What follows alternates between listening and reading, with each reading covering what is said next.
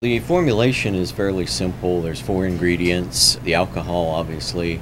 There's some hydrogen peroxide to make sure that we kill any spores that may result from the processing or from the raw materials that are not sterile. We also have some glycerin, which is used to keep the skin a little bit soft. And then uh, water is the final ingredient. And so we mix those together in a specific sequence and then we are able to transfer that over into the bottling operation. We help make sure that all the raw ingredients we have on hand to, to do the, the mixing that needs to be done.